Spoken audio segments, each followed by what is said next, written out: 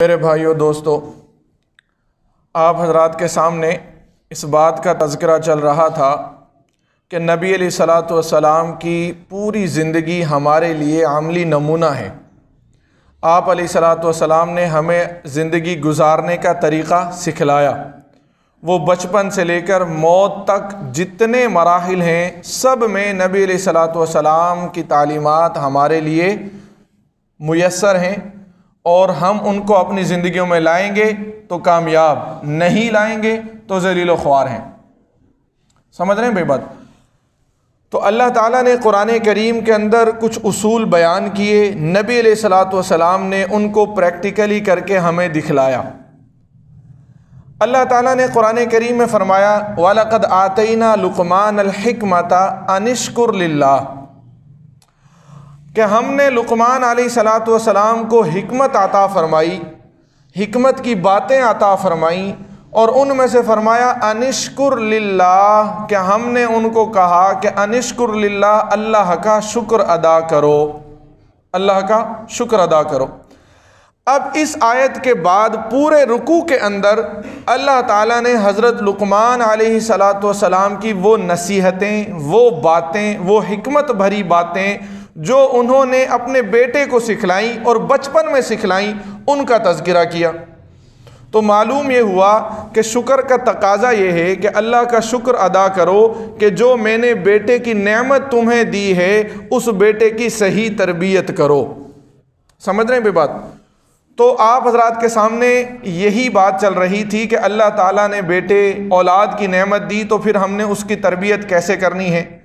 तो उसके बारे में काफ़ी बातें आप हजरात के सामने आ गई थी। अजान देना है, हल, सर मुंडवाना है, ठीक है भाई? उसका अच्छे से नाम रखना है, उसका अकीका करना है। ये सारी बातें आ गई थी। पिछले जुमे बात की थी कि माएँ अपने बच्चों को खुद दूध पिलाएँगी।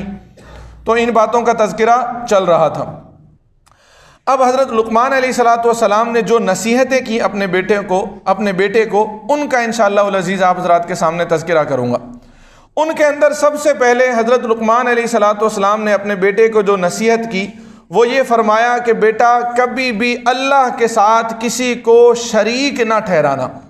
यानी अल्लाह का शरीक किसी को नहीं बनाना, शिरक कभी नहीं करना। अब एक बात ज़रा हम ये देखें कि ये जो नसीहतें हो रही हैं, बचपन के ज़माने में हो रही हैं। बचपन के ज़माने में।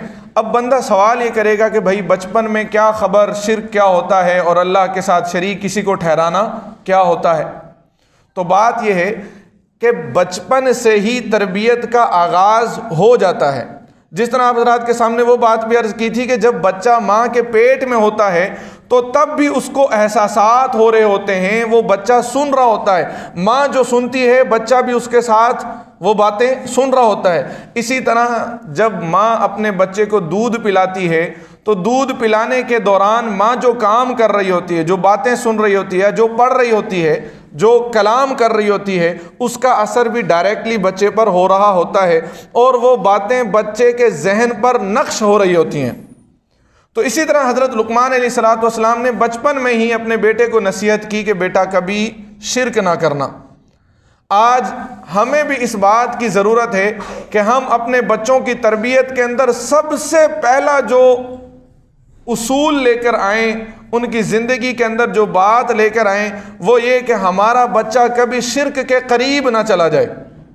लेकिन जहाँ तरबियत नहीं होती, जहाँ माँ बाप खुद नहीं सीखे होते शादी हो जाती है, बग़ैर तरबियत के, पता ही नहीं होता शादी क्या है, बीवी का हक क्या है, शोहर का हक क्या है, बच्चों के हकूक़ क्या हैं तो फिर क्या होता है, फिर तरबियत ना होने की वजह से हम खुद अपने बच्चे की गलत तरबियत कर देते हैं। उसकी आसान मिसाल ये है कि अगर मैं यूँ कहूँ तो आप समझेंगे कि देखें, आज खुद हम अपने बच्चों को शिरक सिखला रहे हैं। वो कैसे? वो यूँ कि अल्लाह से डरना अल्लाह का डर अपने दिल में रखना ये सिर्फ़ और सिर्फ़ अल्लाह की ज़ात के लिए होना चाहिए। अल्लाह के अलावा किसी से डरना ये जायज़ ही नहीं है। क्यों? कि अल्लाह के अलावा बाकी हर चीज़ अल्लाह की मखलूक है। अल्लाह हर चीज़ के खालिक हैं। तो जिस तरह हम मखलूक हैं, बाकी चीज़ें भी क्या हैं? मखलूक। तो लिहाजा मखलूक से तो डरना ही नहीं है। लेकिन आज हम अपने घरों में अपने बच्चों को खुद डरा रहे होते हैं। आपने बारहा ये जुमला सुना होगा कि जब माएँ अपने बच्चों को किसी काम के करने या ना करने से, करने करने या ना करने का हुक्म देती हैं, मना करती हैं किसी बात से तो वो हमेशा ये बात कहती हैं कि बेटा ये काम नहीं करो, वरना मैं तुम्हें बिल्ले को खिला दूँगी, भालू को खिला दूँगी। सही है? समझ आ रही भाई बात? या किसी बाहर कोई, मिसाल के तौर पर बाहर कोई बोरी वाला बाबा आता है इसकी बात करूँगा अभी आगे। बोरी वाला बाबा एक खातून थी उन्होंने अपने बच्चे को इस तरह डराया कि बोरी वाले बाबे को मैं तुम्हें दे दूँगी। या बच्चे के जहन में किसी भी सूरत में बिल्ली अंधेरे कमरे अंधेरे से आग से ये जितनी बातें जि, जिन चीज़ों से आज माएँ डराती हैं ये बातें क्या हैं? हम खुद उनके दिलों में उनके अंदर डर पैदा कर रहे होते हैं। लेकिन अगर हम दूसरी तरफ़ देखें तो हम कभी हमारी माएँ कभी जो हैं वो क्या नहीं करती? अल्लाह से नहीं डराती। कि बेटा ये काम अगर तुमने किया तो अल्लाह नाराज़ हो जाएँगे। अल्लाह से डरने का मतलब भी समझ लें कि अल्लाह से डराने का मतलब क्या है? अल्लाह से कोई यूँ नहीं डराना कि ना नाउजुबिल्ला कोई अल्लाह डराऊ ने ऐसा नहीं। अल्लाह की नाराज़गी से डराना है। कि बेटा अगर ये काम किया तो अल्लाह नाराज़ हो जाएँगे। अल्लाह की मोहब्बत पैदा करनी है। ज़ाहिर है अल्लाह की मोहब्बत पैदा करेंगे तभी तो अल्लाह की नाराज़गी से खौफ आएगा कि नहीं, मैंने अल्लाह की नाराज़गी मोल नहीं लेनी। तो उसके लिए बच्चे की तरबियत करनी है, बेटा ये अल्लाह ने दिया, ये नेमत अल्लाह ने दी, ये काम अल्लाह ने दिया, ये सेहत अल्लाह ने दी। अगर बच्चे को कोई चीज़ दे रहे हों तो ये साथ बतला दिया जाए कि बेटा ये अल्लाह ने दिया है आपके लिए। अगर बच्चे को कोई साइकिल, कोई खिलौना, कुछ भी लेकर आए तो बच्चे को क्या बताएँ कि बेटा ये किसने दिया है? अल्लाह ने दिया है। अब बच्चा समझ जाएगा कि मुझे मेरे अल्लाह इतनी मोहब्बत करते हैं, मेरे लिए इतनी चीज़ें देते हैं। अब देखें ना माँ बाप बच्चे को कितनी चीज़ें दे रहे हैं। तो अगर हम बच्चे को ये बताएँगे कि ये चीज़ें अल्लाह ने दी हैं, अब जब बच्चे को कहेंगे कि अल्लाह नाराज़ हो जाएँगे, अल्लाह फिर आपको चीज़ नहीं देंगे तो फिर लाजमी बात है, बच्चा कभी बर्दाश्त नहीं करेगा इस बात को कि अल्लाह मुझसे क्या हो? नाराज़ हों। समझ रहे में बात। लेकिन हमारे यहाँ बच्चे को डराया जाता है इंसानों से, मखलूक से, चाहे वो फिर शयातीन हो, वो फिर जानवर हो, या कोई इंसान हो। हमारे उस्ताद मोहतरम एक मरतबा एक वाक़ सुनाने लगे। उन्होंने कहा कि एक मरतबा, एक अजीज़ा, उनकी खातून अजीज़ा जो हैं, वो उनके घर तशरीफ़ लाई और उनके गोद में एक छोटा बच्चा था। अब उस्ताद मोहतरम ने उन बच्चे को उठा लिया। उन्होंने बच्चा जब उठाया तो बच्चा भी गोद में आया है और डर कर कपकपाने लगा। इतना डर गया कि थोड़ी देर में बच्चा जो है बेहोश हो गया। थोड़ी सी देर में। उस्ताद जी ने बच्चा वापस कर दिया उनकी माँ को। उसको पानी वानी से पिलाया, छींटे मारी हाँ जी, क्या हो गया? तो थोड़ी देर में बच्चे को होश आ गई। उस्ताद जी ने पूछा कि क्या माजरा क्या है? आखिर ये मैंने तो इसको कोई ना तो मैंने इसको डांटा है। ना मैंने इसको कोई डराया है और ना ही कोई मेरी ऐसी शक्ल है कि जनाब मैं, मेरी शक्ल से क्या हो जाए डर जाए। अब उसकी माँ खामोश है। उस्ताद मोहतरम की इसरा, इसरार पर, उस्ताद के इसरार पर उन्होंने बताया कि बात असल ये है कि मैंने इसको हमेशा से ये बात कही है कि जब मुझे किसी का कोई काम करवाना होता है, किसी काम से मना करना होता है तो मैं इसे ये कहती हूँ कि ये काम कर लो, वरना वो बोरी वाले बाबे को मैं तुम्हें दे दूँगी। और वो जो बोरी वाला बाबा है, उसने दाढ़ी रखी हुई है। बोरी वाला बाबे ने दाढ़ी रखी हुई है। अब ये जिनका बच्चा था, उनके घर में लोग दाढ़ी वाले नहीं थे। ना उनके घर में, ना मिलने वालों में दाढ़ी वाले नहीं थे। अब जब उस्तादों ने उस बच्चे को उठाया, उन्होंने देखा, यार, ये वही दाढ़ी वाला। उन्होंने कहा, आ गया मैं बोरी वाले बाबे के हाथ, आ गया हूँ भाई, अब नहीं बचता। तो समझ रहे बात? अब बच्चे के जहन में क्या हो गया? वो डर पैदा हो गया। और डर किसका पैदा हुआ? मखलूक का। मखलूक का डर पैदा हो गया। तो जब हम मखलूक का डर खुद अपने बच्चों के दिलों में पैदा करेंगे, वो अल्लाह ताला से नहीं डरेंगे। तो हमने क्या करना है? तरबियत के अंदर इस बात को शामिल कर लेना है कि जब भी बच्चे को किसी भी बात के करने या ना करने पर आमादा करना है तो अल्लाह ताला की तरफ़ इशारा करना है कि बेटा ये काम करो, अल्लाह राज़ी होंगे। बेटा ये काम नहीं करना, वरना अल्लाह नाराज़ हो जाएँगे। वरना अल्लाह क्या हो जाएँगे भाई? नाराज़ हो जाएँगे। जब हम अल्लाह ताला का डर पैदा कर देंगे, फिर क्या होगा? बच्चे के अंदर बचपन से ही अल्लाह का डर आएगा। अब जब वो जवान होगा, कुछ भी उसको बताएँगे, अब उसको समझाएँगे, बेटा, अल्लाह ने ये हुक्म दिए, अल्लाह ने ये हुक्म दिए। तो बचपन से चूँकि उसकी तरबियत हुई होगी, वो फ़ौरन से सीधे ट्रैक पर आ जाएगा। बचपन में ही हमने जो सिखाना बचपन के अंदर, अब तो माहिर नफ्सियात ने ये बात लिख दी है, माहिर नफ्सियात ने। कि बचपन में पाँच साल तक जो आपने बच्चे को सिखलाया, जो बच्चे के जहन के अंदर बातें डाल दी, पूरी ज़िंदगी उसके अंदर वो छाप लगी रहेगी। पूरी ज़िंदगी। ये पहले जो पाँच साल है, नहायत अहम पाँच साल होते हैं कि इनमें अपने बच्चे को किस तरह से हमने तरबियत करना है। इन्हीं पाँच सालों में बच्चे को बताना होता है कि किस तरह ज़िंदगी गुजारनी है, किससे मोहब्बत करनी है, किससे नफ़रत करनी है। अगर इन पाँच सालों में हमने अपने बच्चे को ये दिखलाया कि हमारा अपने माँ बाप के साथ ये रवैया है, उसके दादा दादी नाना नानी के साथ हमारा रवैया अगर अच्छा ना हुआ, बच्चे के दादा दादी के साथ, मिसाल के तौर तो पर अगर हम अपने अब्बू की रिस्पेक्ट नहीं करते हैं तो बच्चा सीख जाएगा कि मैंने इस बाबा जी की रिस्पेक्ट नहीं करनी। और लेकिन अगर हमने वही बचपन में उसको दिखलाया कि भाई ये मेरे अब्बा हैं, इनका हुक्म सर आँखों पर है। इन्होंने हुक्म दे दिया तो वो हुक्म मैंने टालना नहीं है। अब बच्चा क्या सीखेगा कि अच्छा अब्बा वो चीज़ होती हैं, मिसाल के तौर पर, अब्बा वो शख्सियत होती है कि भाई जिसका हुक्म अगर आ गया तो टाला नहीं जा सकता। अब जब हम खुद भी अब्बा बनेंगे और ये बच्चा जवान होगा तो फिर जब हम हुक्म देंगे, फिर ये बच्चा मानेगा। लेकिन अगर हमने बचपन में बच्चे को ये दिखाया कि हमारे अब्बा हमें कोई हुक्म दे रहे हैं, और हम क्या कर रहे हैं आगे से? सुस्ती कर रहे हैं। तो बच्चा यही सीख जाएगा कि भाई, अब्बू का हुक्म कोई माने नहीं रखता। तो वही बच्चा जब बड़ा होगा, फिर वो आगे से हमें भी आँखें दिखलाएगा। फिर वो हमें आगे से आँखें दिखलाएगा। तो इसमें कई बातें हैं जी, जनाब, कई बातें। हमने जो जो बच्चे को सिखलाना है, अच्छी तरबियत, जैसे जैसे उसकी करनी है, उसको बताना है। माँ बाप का एक फैक्टर आ गया। दूसरा क्या है? बड़ों की इज़्ज़त करना। कोई भी बुज़ुर्ग है, हम सिखला रहे हैं। हम अगर खुद बड़े की इज़्ज़त नहीं कर रहे, लाजमी बात है, हमारा बच्चा भी कभी बड़े की इज़्ज़त नहीं करेगा। ओलमा की इज़्ज़त करना। जी हाँ आज आप देखें कि नौजवान नस्ल, अक्सर नौजवान नस्ल के बच्चे जो हैं, वो क्यों ओलमा से मुतनफ़िर हैं? क्यों ओलमा का मज़ाक उड़ा रहे होते हैं? ओ मौलवी, ओ ये, ओ वो, ये बातें आपने सुनी होंगी। सही है भाई। अब ये असल में लफ्ज़ बच्चे कहाँ से सीख रहे हैं? ये खुद हमसे सीख रहे हैं। जब हम अपने घरों में ओलामा की इज़्ज़त नहीं करेंगे ओलामा को इज़्ज़त वाले बोल नहीं देंगे, कारी आया। कारी के साथ साहिब लगाएँ रिस्पेक्टेड वर्ड यूज़ करें उसके लिए।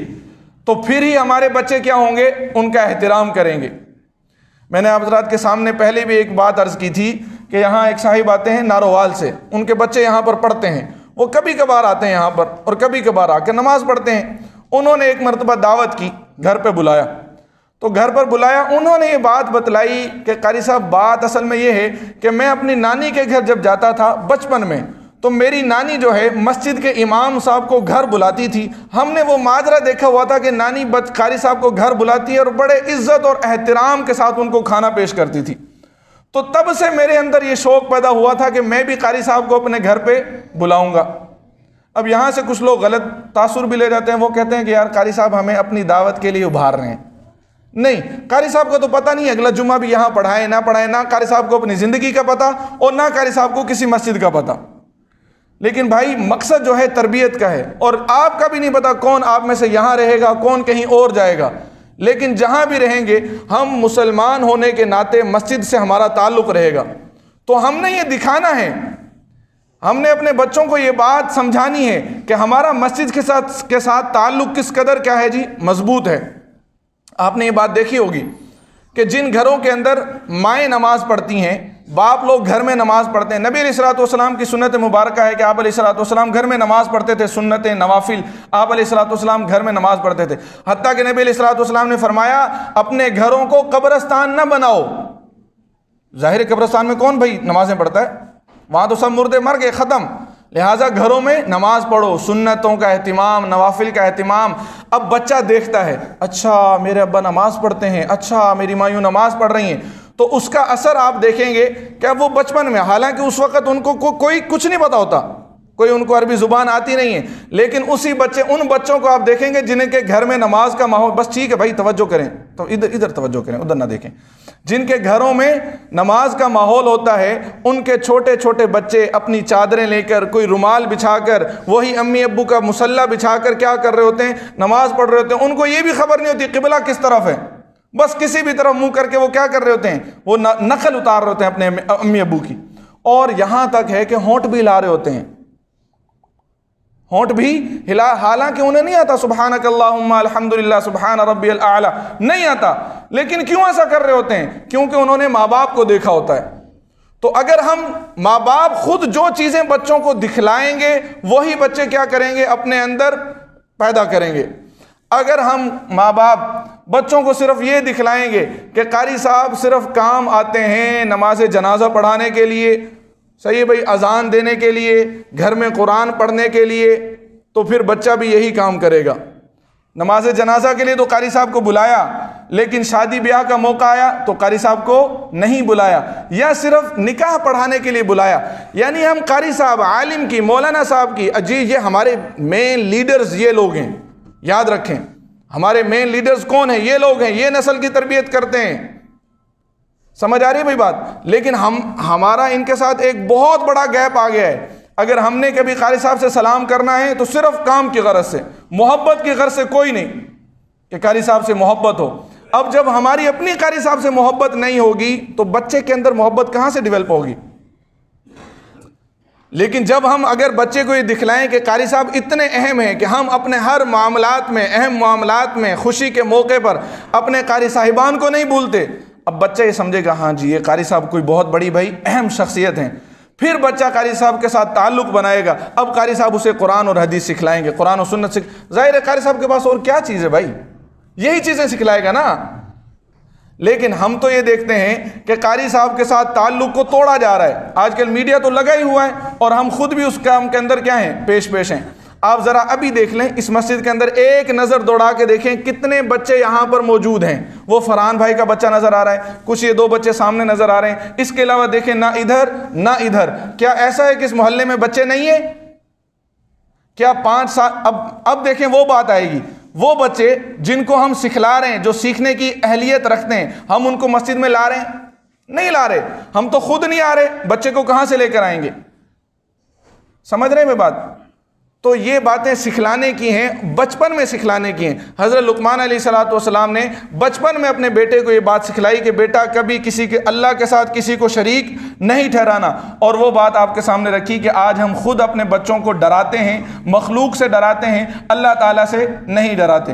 एक नसीहत ये। उसके बाद अगली नसीहत की कि अनिश्कुर लिल्ला, अनिश्कुर ली वाली वाली दईक अल्लाह ताला ने हज़रत लुकमान सलाम को ये नसीहत की और वो अपने बच्चे को ये नसीहत सिखला रहे हैं कि अनिश्कुर ली, मेरा शुक्र अदा करो, वाली वाली दईक और अपने वालदेन का शुक्र अदा करो। इसका भी फुकदान है। ना तो हम अल्लाह का शुक्र अदा करते हैं और ना हम बच्चे को सिखलाते हैं कि बेटा शुक्रिया अदा करें। और शुक्रिया अल्लाह का और मखलूक का दोनों का है। अल्लाह का शुक्रिया क्या है? अल्लाह का शुक्रिया ये है कि हमने बच्चे को सिखलाना है कि जब भी उसको कोई अल्लाह की नेमत दी जाए तो उसको ये बात सिखलाई जाए कि बेटा, अल्हम्दुलिल्लाह बोलो। काश के हमारे बच्चे ये तरबियत हासिल कर लें कि जब हम उनसे पूछें कि बेटा, क्या हाल है? वो बोले, अल्हम्दुलिल्लाह, अल्लाह का फजल है। ये कर सकते हैं। बेट, बच्चे ये भी तो सीख रहे हैं ना भाई, कि ठीक हैं, अच्छे हैं, और आजकल तो चूँकि इंग्लिश का एक ट्रेंड बना हुआ है तो बच्चे से पूछेंगे, बेटा हाउ आर यू वो कहेंगे आई एम फाइन सही है? बहुत प्यारे, मीठे से अंदाज में ये बातें सीख रहे हैं। अब आप इस बात का अंदाज़ा लगाएँ कि देखें, पाँच साल के बच्चे की बात कर रहा हूँ ना, ये पाँच साल जो माहिर नफ्सियात कहते हैं कि पाँच साल का आपके पास टाइम पीरियड है, ये जो जहन बना दिया, पूरी ज़िंदगी काम आएगा। पाँच साल के बच्चे आजकल इंग्लिश की कई कई पोइम्स सुना रहे हैं। जी हाँ इंग्लिश की कई कई पोइम्स क्यों? क्योंकि उनके माँ बाप ने उनको वो सिखलाई हैं। मेहनत की है उस तरफ़। वो ट्विंकल ट्विंकल और भी पता नहीं कितनी है। अब हालाँकि ये वो पॉइंट्स हैं कि बड़ों को इनके तर्जमे नहीं आते। बच्चे को तो दूर की बात। उनके माँ बाप को भी हो सकता है उसका तर्जमा ना आए। लेकिन बच्चे ने क्या किया हुआ है? उसका रट्टा लगाया हुआ है। क्योंकि मेहनत किस तरफ़ है? मेहनत उस तरफ़ है। तो अगर इंग्लिश की पॉइंट्स हमारे बच्चे सीख सकते हैं तो क्या ख्याल है? अल्हम्दुलिल्लाह नहीं सीख सकते। कि जब भी हम उनसे पूछें कि बेटा, आपका क्या हाल है? वो कहें, अल्हम्दुलिल्लाह। बेटा, आपने खाना खा लिया? जी, अल्हम्दुलिल्लाह। बेटा, दूध पी लिया? अल्हम्दुलिल्लाह। जी, अल्हम्दुलिल्लाह, पी लिया। समझ रहे हैं बात? तो ये काम किए जा सकते हैं। लेकिन आजकल क्या है? काम हो रहे हैं सारे, लेकिन ट्रैक चेंज हुआ पड़ा है। हम दूसरी बातें सिखला रहे हैं। जबकि नबी सलाम की ज़िंदगी हमारे लिए नमूना है लेकिन हम चूँकि उस ज़िंदगी से दूर हैं, नबी सलाम की तालीमत से दूर हैं, लिहाजा जब हम खुद दूर हैं, अपने बच्चों को कैसे लेकर आएँगे? अल्लाह के नबी ने इशाद फरमाया, इफ्ताहु अला सुबियानिकुम सुबियानिकुम कलिमतुल्लाह, ला इलाहा कि अपने बच्चों की ज़ुबान की जो इफ्तिता करो ना, जो ज़ुबान का पहला कलीमा हो, वो क्या हो? ला इलाहा हो। अब अल्लाह के नबी हमें यह सिखला रहे हैं कि अपने बच्चों की ज़ुबान की जो इफ्तिता करो, जिस तरह दुकानों का इफ्तः होता है तो बच्चा जब बोलता है, अम्मी, अब्बू, कुछ भी ज़ाहिर है, बच्चे ने एक टाइम बोलना है तो वो सबसे पहले कौन सा जुमला बोले? ला इल्लल्लाह, अल्लाह अल्लाह। आहिस्ता आहिस्ता सिखलाने से सीख जाएगा। अगर बच्चा जो है पॉइंट्स याद कर सकता है आई एम फाइन कह सकता है तो ला इल्लल्लाह, कौन सी मुश्किल बात है? लेकिन वो कब कहेगा? जब बच्चे ने यह सुना होगा। आखिर पाकिस्तान में बच्चे उर्दू क्यों बोलते हैं? और अंग्रेज़ों के मुल्क में इंग्लिश क्यों बोलते हैं? अरबों के यहाँ अरबी अरबी क्यों बोलने लग जाते हैं? असल बात यह उनको सुनाया हो जाता है। तो जो चीज़ हम सुनाएँगे, बच्चा वही क्या करेगा? बोलेगा। अगर हम ये जम, ये जुमले, ये कलिमात सिखलाएँगे तो हमारे बच्चे इंशाल्लाह इन्हीं के अंदर हमें जवाब देंगे। तो अल्लाह के नबी ने, हज़रत लुकमान सलाम ने क्या अपने बच्चे को नसीहत की? कि शुक्र अदा करो अल्लाह का। और उसके बाद दूसरा शुक्र अदा किया वाली वाली दई का अपने वालदेन का शुक्र अदा करो। अपने वालदेन का। आज ज़रा देखें कि हमारे बच्चे कितना हमें शुक्रिया अदा करते हैं। उसके कई तरीक़े हैं। नंबर एक, जो नबी सलाम ने सिखलाया कि जब तुम्हें कोई चीज़ दे, कोई बंदा कोई एहसान करे तो उसको जजाकल्लाह का लफ्ज़ बोलो कि अल्लाह तुम्हें जजा दे। इससे क्या होगा? गोया हमने उसके एहसान का बदला अदा कर दिया। उसके एहसान का बदला उसे दे दिया। हमने दुआ दे दी कि इसका बदला तुझे अल्लाह ताला दे। अल्लाह ताला तुझे बेहतरीन बदला दे। पहली बात तो ये कि हमारे बच्चे जजाक अल्लाह के हैं। इसके साथ हम बच्चों को उर्दू में भी अल्फाज सिखलाएँ, शुक्रिया के अल्फाज सिखलाएँ थैंक यू के अल्फाज सिखलाएँ कि हमारा बच्चा थैंक्स बोल रहा हो। समझ आ रही भाई? ये सारे क्या हैं? शुक्रिया हैं। शुक्रिया के अल्फाज हैं ये। हदीस पाक में अल्लाह के नबी ने इरशाद फरमाया मल्लम यशकुरन्नास लम यशकुर इस बात की ज़रूरत खाली बच्चों को नहीं है, बड़ों को भी है। ये हमारे अंदर से भी चीज़ें गायब हैं। अल्लाह के नबी शाह मारे हैं मल्लम यशकुरन्नास जो बंदा लोगों का शुक्रिया अदा नहीं करता, लम यशकुर वो अल्लाह का भी शुक्रिया अदा नहीं करता। एक मुहदस ने बहुत बहुत प्यारी इसकी तशरी की। वो कहते हैं कि देखो, मल्लम यशकुरी नास, जो लोगों का शुक्रिया अदा नहीं करता, कि बंदा सामने नज़र आ रहा है कि इसने मेरे ऊपर ये एहसान किया, इसने मेरे साथ ये भलाई की। अगर एक बंदा उसको शुक्रिया नहीं अदा कर रहा, उसको शुक्रिया नहीं बोल रहा, उसको जजाक जजाकल्ला थैंक यू नहीं कह रहा तो जो अल्लाह ताला सारी नेमतें दे रहे हैं, लेकिन नज़र नहीं आ रहे इनडायरेक्टली ना, नज़र नहीं आ रहे तो वो उसका कैसे शुक्रिया अदा करेगा? तो ये है हदीस का मतलब कि मल्लम यशकुर नासा लम यशकुरिल्ला तो हमने अपने बच्चों को सिखलाना है। और वो कैसे? कि जब भी हम अपने बेटे को, बच्चे को कोई भी चीज़ दें तो उसको बोलें कि, बेटा जजाकल्ला कहो। बेटा थैंक यू कहो। और अल्हम्दुलिल्लाह इसका तजर्बा किया है। अब बच्चों को आ ये टाइम लगता है। हाँ ये बात पक्की है टाइम लगता है। देखे ना टाइम लगता है। ऐसा नहीं है कि आपने एक दो दफ़ा कहा, फिर अपने को बच्चों, कहता ही नहीं, बस छोड़ो, ये हम तो नहीं करेंगे। नहीं यार टाइम लगेगा। बार बार कहना पड़ेगा बार बार कहना पड़ेगा। पीर जुल्फ़ार अहमद नक्शबंदी साहब की एक किताब है, मिसाली मर्द मिसाली मर्द, ज़बरदस्त किताब है। उसमें एक बाब है, मिसाली बाप मिसाली बाप, के बाप के क्या काम होने चाहिए। उन्होंने उसमें एक अपना वाक़ लिखा। वो कहते हैं कि मैं एक फ़्लाइट में था, कि मेरे साथ जो है, एक ख़ातून बैठी, गोरी ख़ातून। नॉन मुस्लिम, मुसलमान नहीं है। और उसके साथ उसकी दो साल बच्ची थी। जब एयर होस्टेस आई खाना देने के लिए तो उन्होंने खाना लिया, पीर साहब जो है, अपनी किताब पढ़ने लग गए। अब वो कहते हैं कि मैं किताब पढ़ रहा था, मैंने देखा कि वो माँ जो है, अपनी बेटी को खाना खिला रही है, दो साल की बेटी। और जब उसके मुँह में एक लुकमा देती है तो उसको कहती है से थैंक यू कि भाई, शुक्रिया बोलो। मेरा शुक्रिया अदा करो। मैंने तुम्हें खाना खिलाया, मैंने तुम्हारे मुँह में लुकमा दिया, शुक्रिया अदा करो। फिर लुकमा खिलाती है तो फिर शुक्रिया अदा करो। फिर लुकमा खिलाती है, फिर शुक्रिया अदा करो। वो कहते हैं, तकरीबन बत्तीस मरतबा उन्होंने उस बेटी को शुक्रिया के अल्फाज बोले कि शुक्रिया अदा करो। फिर ऐसा हुआ कि उस माँ के पास से चावल थोड़े से उसके कपड़ों पर गिर गए। अब बेटी ने कहा, अम्मी, आपके कपड़ों पर क्या गिर गए? चावल गिर गए। तो माँ ने उसको टिश्यू से साफ़ किया और उसको थैंक यू बोला, उसका शुक्रिया अदा किया। समझ रहे हैं मैं बात? अब ये बातें किन की हैं? ये तालीमात किन की हैं? ये कुरान और सुन्नत तो हमारी तालीमत हैं, लेकिन ले किन्होंने लिया, अंग्रेज़ों ने ले लिया। ये ख़ास हमारे लिए नहीं है कि भाई मुसलमान ही है। अगर कोई और भी, ज़ाहिर है जो भी इन तालीम है तो उसूल हैं ज़िंदगी गुजारने के। जो भी इनको लेगा, वो क्या होगा? कामयाब होगा। और ये वो अल्फाज हैं कि अगर हम किसी का शुक्रिया अदा करेंगे, लाजमी बात है, उसके दिल में हमारी मोहब्बत पैदा होगी और वो दोबारा भी हमारे साथ एहसान करने की ज़रूरत कर लेगा। समझ रहे बात? लेकिन अगर आपने किसी से क्या किया, कोई चीज़ ली और शुक्रिया भी नहीं बोला, वह ठीक है, चलो भाई, काम ख़त्म हो गया। तो वो कहेगा, यार, बड़ा ना शुक्र बंदा है। बड़ा ना शुक्र बंदा इसको तो कदर ही कोई नहीं। तो अल्लाह के नबी ने शुक्रिया अदा करने की तलकीन की कि अपने बच्चों को शुक्रिया अदा करना सिखलाएँ हम। समझ रहे हैं बात? तो लिहाजा ये वो बातें हैं कि जो हमने अपने बच्चों के अंदर डिवेल्प करनी है, अपने बच्चों को सिखलानी है और बचपन से सिखलाना शुरू करनी है। वक्त ख़त्म हुआ, एक अहम बात जो है वो आपके सामने कर दूँ कि देखें, जब तरबियत का फुकदान होता है तो हमारी नौजवान नस्ल चूँकि तरबियत से तरबियत के बग़ैर परवान चढ़ी है तालीम के बग़ैर परवान चढ़ी है तो फिर यही वजह है कि हमें पता ही नहीं होता कि क्या हमने करना है और क्या नहीं करना। अब 25 दिसंबर आ रहा है, ईसाइयों का ये डे है, फेवरेट डे उनका। अब वो कहते हैं क्रिसमस। सही है भाई? लेकिन मुसलमान बच्चे भी उनको आगे से हैप्पी क्रिसमस कह रहे होते हैं। नाउजुबिल्ला। इसका माना क्या है? इसका माना ज़रा समझें। इसका माना है, क्रिसमस का मतलब ये है, जो ईसाई लोग मुराद लेते हैं कि अल्लाह ने बेटा जाना। और ये उनका अकीदा है। ईसाइयों का ये अकीदा है, इसीलिए तो वो काफिर हैं। अल्लाह ताला फरमाते हैं सूर्य मरियम के अंदर, वकाल तखद रहमान वालादा। वकालू, वो ईसाई लोग कहते हैं इतखद रहमान वालादा। कि रहमान यानी अल्लाह ताला ने क्या किया जी, बेटा जाना। अल्लाह फरमाते लकत जी तुम शई अन इद्दा। अलबत् तहकीक, वो अल्लाह ताला को सबसे बड़ी गाली देते हैं।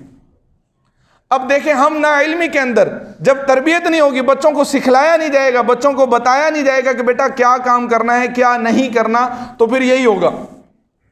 बचपन के अंदर बच्चे को अगर सिखला दिया, ये बातें करनी, ये नहीं करनी, बचपन के अंदर चोरी से बचा दिया, बच, अब ये चीज़ें बंदा बचपन में सीखता है, बचपन में बच्चा स्कूल गया, किसी साथ वाले के पर्स से पेंसिल, रेजर, ऐसी छोटी मोटी चीज़ें चुराता है। अगर माँ बाप ने उसको नहीं रोका, नहीं डांटा, अभी तो बच्चा है, बड़ा होकर समझ जाएगा, खुद ही समझ आ जाएगी तो वो बड़ा होकर बड़ी बड़ी चोरियाँ करेगा। और यहाँ तक चोरियाँ करेगा कि वो इमाम साहब के जूते भी चुराएगा। जी हाँ मस्जिद की टूटियाँ भी चुराएगा। इस बार कोई बंदा मेरे जूते चुरा के ले गया असल में। क्या हालात हैं यार? बंदा क्या कर सकता है? तो ये देखें, अब तरबियत पर ज़ोर देना पड़ेगा ना भाई, कि हमारे ये बच्चे बड़े हों तो कल को फिर मेरी जूतियाँ भी ना चुराएँ, और आपकी भी ना चुराएँ। यहाँ पर अक्सर लोग शिकायतें करते हैं। अब जाहिरी बातें देखें, मुझे नहीं लगता कि कोई काफिर, कोई ईसाई, कोई दूसरा बंदा जो है हमारी मस्जिद में आता होगा। सही है भाई, आ जाए, कोई रोक टोक नहीं है। लेकिन वैसे बात कर रहा हूँ कि नहीं आता होगा ना, मुसलमान बड़ी मुश्किल से आ रहे हैं, भाई वो कहाँ से आएँगे? तो मुसलमान आए और जूतियाँ चुरा के ले जाएँ। ये क्या है? बचपन में हमने उनको नहीं सिखलाया। तो भाई ये बातें सीखने की हैं कि हमने 25 दिसंबर को खुद भी कभी किसी को हैप्पी क्रिसमस नहीं कहना और अपने दूसरों को भी बताना है। अल्लाह फरमाते हैं, तकाद समावत, ये इतनी बड़ी गाली है। तकाद समावत यतफ़रना मिन वतन शक्ल अर्ज़, के इतनी बड़ी गाली है कि अगर ज़मीन और ज़मीन और आसमान को एहसास होता तो ज़मीन, आसमान फट जाते, ज़मीन, आसमान फट जाते। व तखिरजिबाल हद्दा, और पहाड़ रेजा रेजा हो जाते। इतनी बड़ी गाली। और आज मुसलमान मुसलमान उम्मत, तालीमत से दूर होने की वजह से ऐसा कर रहे हैं।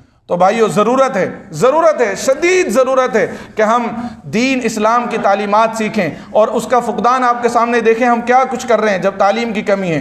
तो उसका बेहतरीन हल क्या है? सबसे पहला हल ये कि अपने बच्चों को उलमा के साथ जोड़ें, अपने बच्चों को मस्जिद के साथ जोड़ें। और वो कैसे जुड़ेंगे?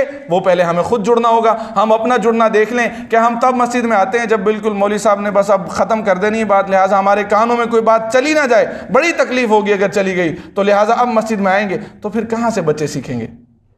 दुआ फरमाएँ, अल्लाह ताला हम सबको सीखने के और अमल करने की तोफ़ी अता फरमाए।